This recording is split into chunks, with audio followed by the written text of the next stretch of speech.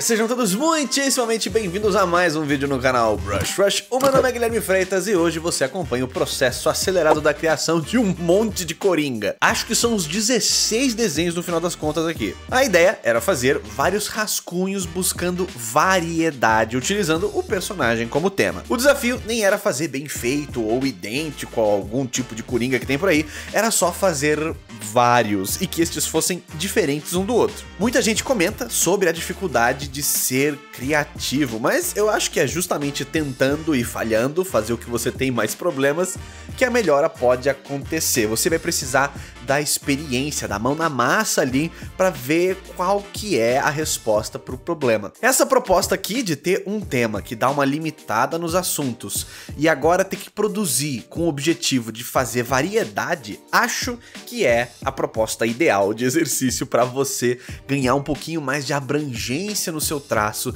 e nas formas que você tem aí disponíveis para criar seus personagens. E falando nisso, eu acabei reparando algo muito estranho e interessante sobre como ter mais velocidade. Porque acho que esse é o maior impeditivo na hora que você quer fazer vários rascunhos diferentes. É quando você demora demais em cada um deles e a tarefa acaba ficando impossível, né? Ou super maçante. Aí para você fazer cinco desenhos você demora quatro horas e aí não deu certo a proposta, quero fazer vários. E eu vi que a linha fina naquele brush de rascunho, desenhar com linhas, não estava me ajudando a definir os volumes e formatos que eu queria, ou pelo menos não na velocidade que eu tava querendo. Eu me vi ali tendo que preencher, indo e voltando, né, riscando, riscando, riscando, para preencher uma massa de sombra. Então, no terceiro rascunho em diante, eu comecei a usar um pincel muito mais grosso para ir trabalhando algumas manchas e ir blocando áreas inteiras ao invés só de fazer o contorno. Isso foi bastante divertido para mim, junto com a função de simetria que literalmente corta pela metade o tempo que eu gasto em cada rosto. Ao invés de fazer dois olhos, eu faço um só. E conseguir fazer uma carinha dessas aí é algo meio chato e difícil, mas que eu consegui resolver em 10 ou 20 minutos, né? Entre 10 e 20 minutos cada uma dessas imagens aí. Isso para mim é, é muito rápido, eu, eu tô achando esquisito. E é lógico o efeito de combinar esses dois fatores aí. Usar um brush muito maior e grosseiro e também ter que desenhar só metade do rosto. E além disso, eu não usei cores ou variação de matizes, eu só fui, peguei tudo ali nos valores mesmo, usando um pincel com fogo bem baixinho e a borracha para ir apagando. Eu quase que fiz uso 100% de um único tom de cor. Eu fui só variando a pressão no pincel e apagando quando eu tinha feito demais. Esse foi um processo muito diferente do que eu faço normalmente e eu acho que me faltava mais estudo de valores assim, um grayscale puro, onde você consegue focar de novo nessa etapa. Porém, eu entendo que desenhar direto com massas e formas pode ser mais complicado e mais difícil quando você tá no começo. Então eu não sei exatamente se essa é uma proposta que eu posso oferecer para todo mundo tentar agora, mas para você que já tem mais familiaridade com o formato do rosto humano, com as proporções da face e tudo mais, eu acho que vai ser muito prazeroso para você também tentar usar um brush mais grandão e só diminuir ele quando for realmente hora de fazer alguns detalhezinhos, um elemento no olho, um pedacinho do nariz, a coisinha dentro da orelha, são esses cantinhos que você vai fazendo isso. Mas eu achei muito realmente assim diferente, porque a questão é essa, a linha, ela já é muito definida e tudo que você faz com ela tem aquele apelo de precisão. O legal do brush bem grosseiro é que você esboça diretamente no começo de forma imprecisa e você vai aumentando a precisão com o tempo ali, com as pinceladas. Eu achei isso legal, você tem uma escalada de precisão que vai aumentando de acordo com o tamanho do pincel que vai diminuindo desenhar só com linhas é meio que exigir desde o começo a precisão máxima. E desenhar pintando com essas manchas no começo não requer tanta precisão no início do processo. Eu acho que isso é interessante. E eu comento às vezes que desenhar em si teria que ser o elemento prazeroso. A recompensa tá no fazer. E eu acho que esse daqui é um dos processos de desenho mais recompensadores para mim. Esse negócio espelhado no meio é, é como se você estivesse fazendo mágica it. e a velocidade em que a coisa acaba acontecendo também é muito divertida. Para fazer uma comparação esdrúxula, eu vi recentemente um vídeo de um macaco que ganhou uma espécie de slime bem durinho assim para ele brincar, parecia uma massinha, e ele ficava espremendo, a... jogando no chão assim, porque era prazerosa demais a situação de manusear aquele material. E talvez tem aí uma explicação evolutiva desse prazer associado ao trabalho manual, a, a, manipular objetos e sentir a diferença na textura e nas coisas, né? Eu não sei por que que isso acontece com a gente, mas é exatamente assim que eu me sinto, o macaco jogando uma massinha no chão.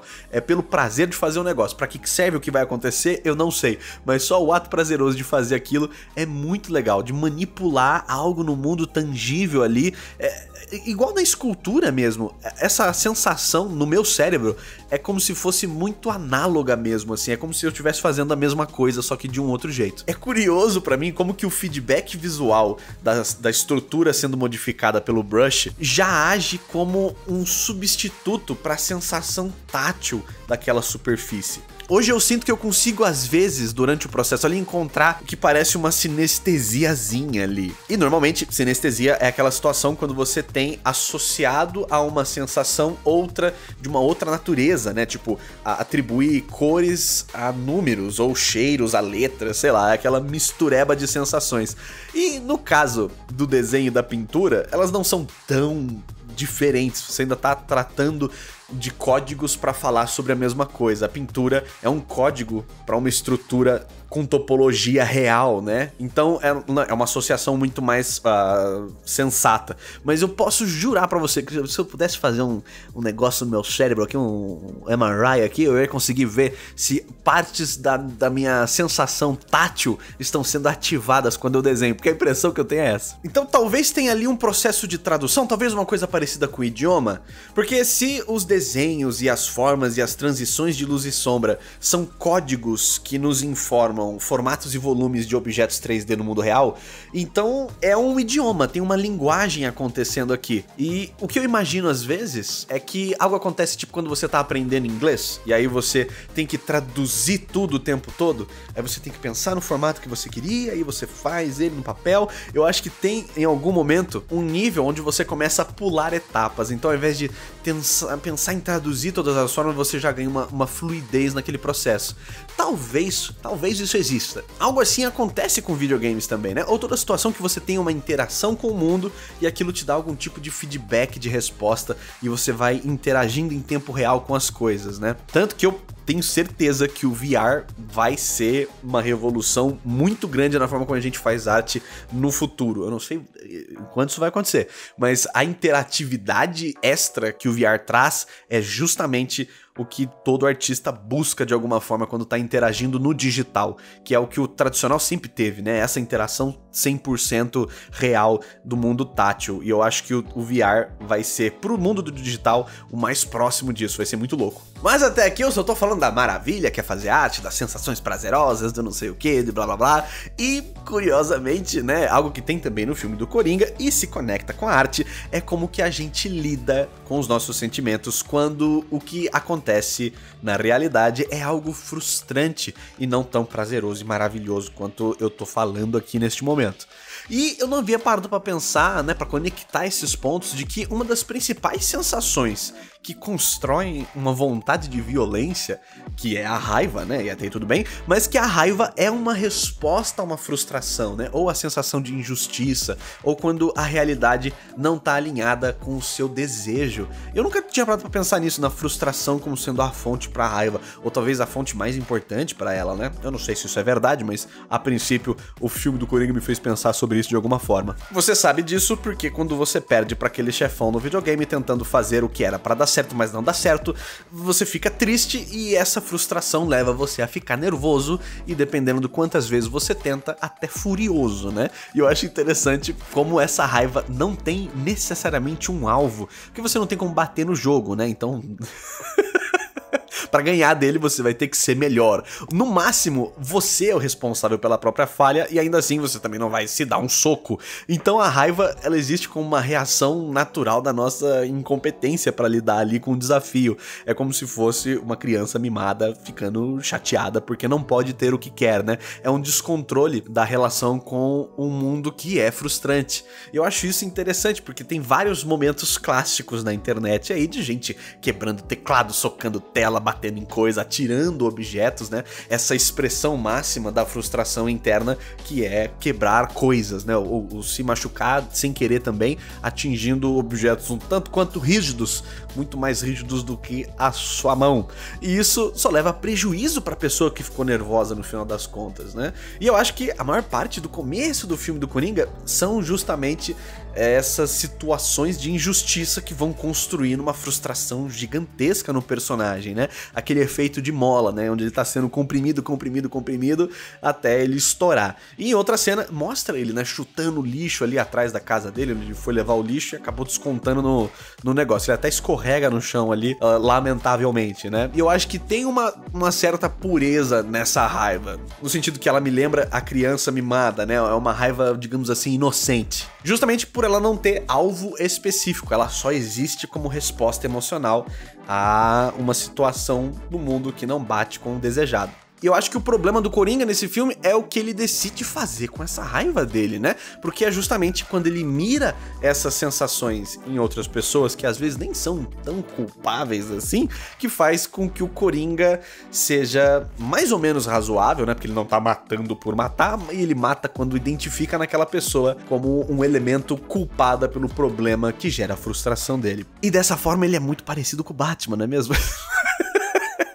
Tanto que a cena final do filme, que você já tá cansado de saber o que acontece, parece ser mais o resultado dele entrando novamente em um estado mental de raiva e frustração que ele faz um passo lógico para conectar alguém que talvez previamente ele nem teria considerado como uma pessoa má ou desprezível, mas a raiva faz ele dar esse pulo lógico ali e conectar essas duas coisas. E aí aquela pessoa vira alvo da frustração dele. E talvez seja só uma consequência das exigências aí da vida adulta, mas eu me vi muitas vezes nesses últimos dois anos raivoso, né? E poder perceber que isso tinha a ver com a frustração minha, que a minha expectativa não estava batendo com a realidade, é esclarecedor. Faz você tentar procurar um pouquinho mais a fonte disso, entender de onde vem, e aí fica tudo muito mais fácil de lidar. E muito da raiva e da frustração que as pessoas sentem com o desenho também vem inspirada de algo assim, de uma percepção que não tá dando certo. E aí eu acho que a gente precisa mudar a forma como a gente pensa,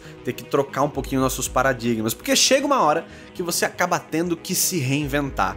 Os modelos antigos de pensamento que você usou para fazer as coisas antes já não são eficientes para lidar com uma realidade nova. E eu acho que às vezes a gente acaba acreditando que os sentimentos são coisas que acontecem que a gente não tem controle, mas eles têm raízes, têm origens e têm motivos, né? E talvez se entender seja o passo mais importante para continuar ajustando essas diretrizes que governam o seu caminhar. Eu fico imaginando se o Coringa desse filme, se tivesse tido a oportunidade de se perceber, de, de, de olhar para como ele estava pensando, ao invés de só sentir o que ele sentia, ao invés de só continuar no fluxo das sensações, se ele pudesse externalizar e ver de fora sobre outra perspectiva, apesar de todas as, as doenças mentais que ele estava sofrendo ali nesse filme, se ele tivesse tido isso, será que teria como ele ter ido para outro caminho? Porque essa é que é a tristeza desse filme do Coringa, a chateação aqui a tragédia, né? É justamente essa ideia de que parece que em vários pontos talvez tivesse tido uma outra chance, uma outra oportunidade para ele ir para um outro lugar. Mas, devido a várias situações internas, externas e políticas, ele não teve nem a oportunidade para isso. E isso tem a ver com desenho, na medida em que você talvez tenha essa oportunidade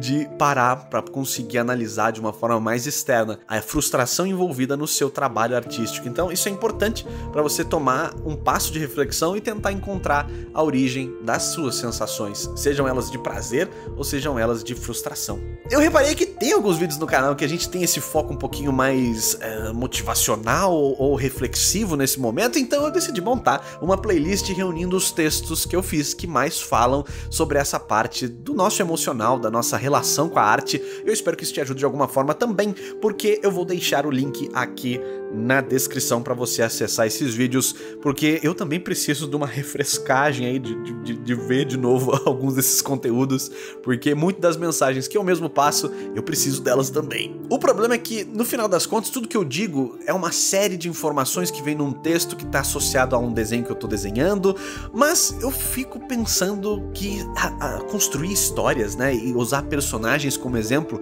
é a forma mais clara para você transmitir uma ideia de verdade, né? Então eu tô pensando que eu adoraria transformar um pouco desses, dessas essências desses vídeos aqui em algo mais narrativo. Eu tô tramando umas coisas por aqui, eu espero que elas sejam interessantes no futuro. Eu ainda estou estudando e aprendendo para ver como é que isso vai ser lá para frente. Mas o mundo da narrativa me aguarda, viu? Transformar o desenho a serviço de uma mensagem mais complexa e uma experiência mais imersiva. Mas enquanto isso, temos vários coringotes desenhados aqui. Vamos ver como que os melhores ficaram. E esses são os nossos coringas desenhados a fim de praticar e exercitar o cérebro desenhístico, experimentar as sensações táteis de construir formatos e sombras e luzes e volumes. Eu espero que você tenha gostado do papo do vídeo, a gente se vê no próximo. Muito obrigado, valeu e falou!